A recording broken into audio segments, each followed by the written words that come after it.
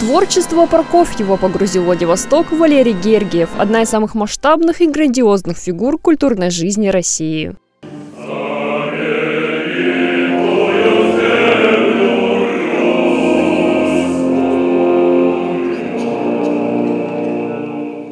Симфонический оркестр Мариинского театра и Валерий Гергиев выступили с программой «Прокофьев Гала». На концерте прозвучали фрагменты из балета «Ромео и Джульетта» кантата Александр Невский и пятая симфония великого русского композитора.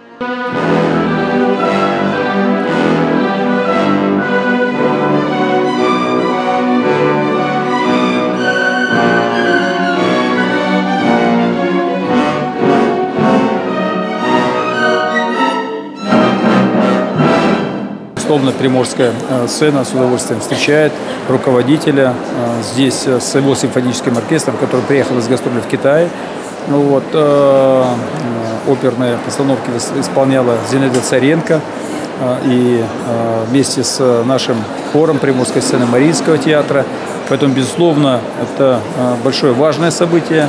Вот это показывает, безусловно, роль нашего театра в целом в культурной э, жизни и не только края нашей страны. Его талант завораживает, им восхищаются миллионы людей по всей планете. Ему аплодировали практически во всех странах. Он открыл миру русскую музыку и продолжает творить, меняя души людей.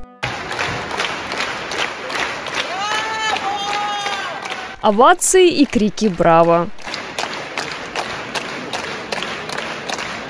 Анна Дьякова, новости на восьмом.